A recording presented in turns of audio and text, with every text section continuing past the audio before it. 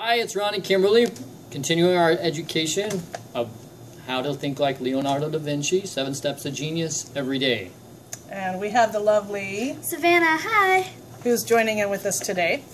And uh, today we're actually delving into arte scienza. So explain to our viewers what arte scienza is. Arte Scienza is the development of the balance between science and art, logic and imagination, which in return is whole brain thinking.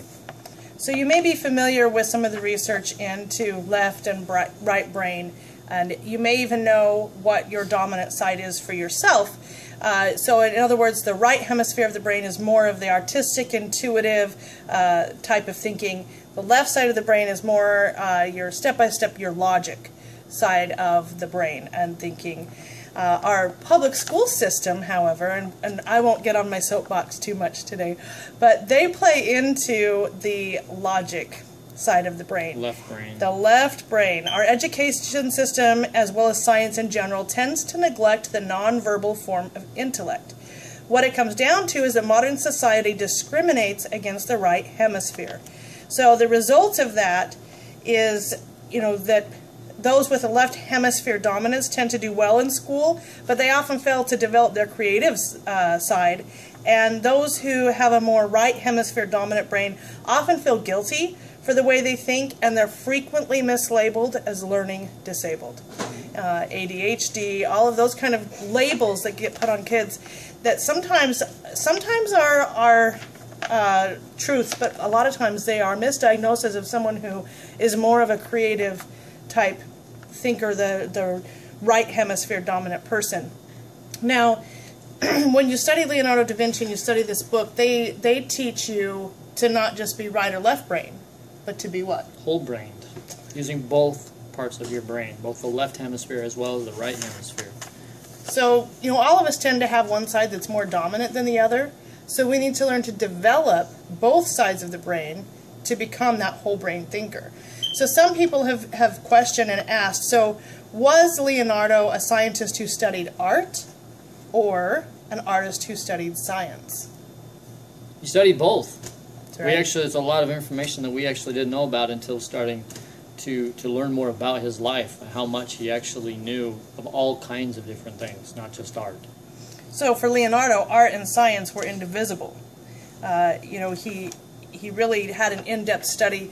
You look at you know the way he would draw his sketches, uh, the way he would you know then turn them into paintings.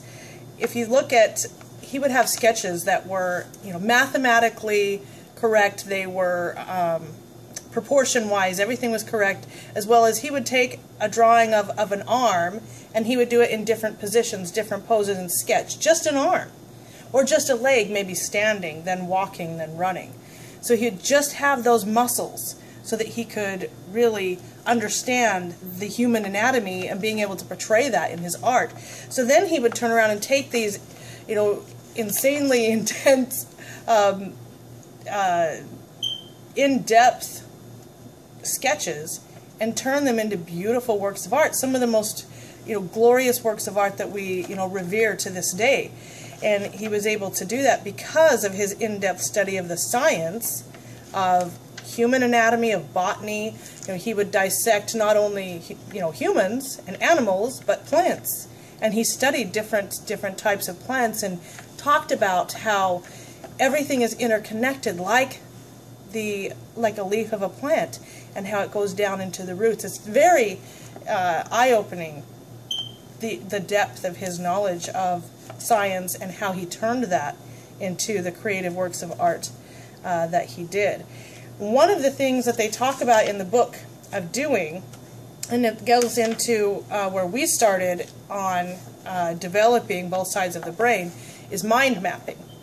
Now, when you think of your typical way of taking notes in you know school, what we're taught in in school settings mostly, and in in college even, what are we taught? How are we taught to take notes?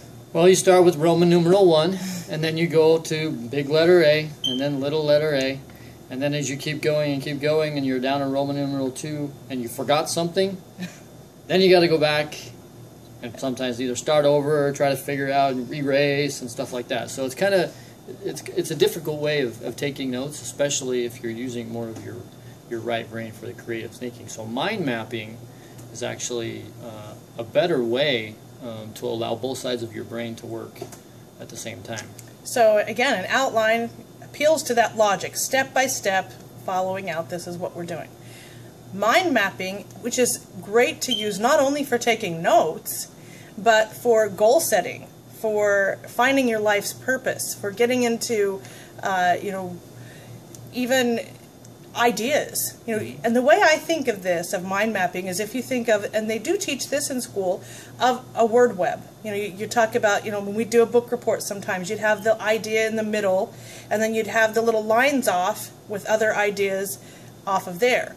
Well, this, this is kind of like that, but it also involves and incorporates pictures and not just words. So ideas, doodles, sketches, drawings, pictures of what you're thinking, how you're feeling, at the time, depending on what mind map you're creating at that moment. Now, Savannah uh, has done a mind map. Would you like to show everyone one of your first mind maps that you did? Or maybe get a little closer. closer and um, explain explain your mind map. Okay, well, it has a smiley face in the middle because I don't know, why I just wanted to be happy. um, and then I just I wrote down Chili Peppers and musical theater and I put singing and dancing and acting as like little branches off of Chili Peppers. And then I put my story that I um, do, I put writing, power, imagination. And dancing, I put costumes, music, makeup, and um, and then I put fun activities. I put well for for mutual for my church mutual. I put friends, fun activities, and personal progress. So. So this was kind of a, a, mind map about you, right? Some of the things that you're interested in and, and, different ways you can develop your interests and all that, correct? Yeah. So that was that was kind of the purpose. That was one of the first ones that, that we did. We also did mind maps on what mind mapping could be useful for. You know, and some of the ideas were, you know, taking notes, goal setting, all of those kind of things. And, and, and then you have branches that go off from goal setting. How can it help me with goal setting? And we're going to get into even more about mind mapping coming up, as well um, as developing both sides of the brain in our next issue. So I encourage you, if you haven't picked up this book yet, it is a very valuable book into developing, you know, all of your senses and all of your skills and becoming a whole brain thinker. So you can grab it from Amazon. I'll post a link below to where you can actually pick the book up. And remember, when you wake up, wake, wake up, up unstoppable. unstoppable.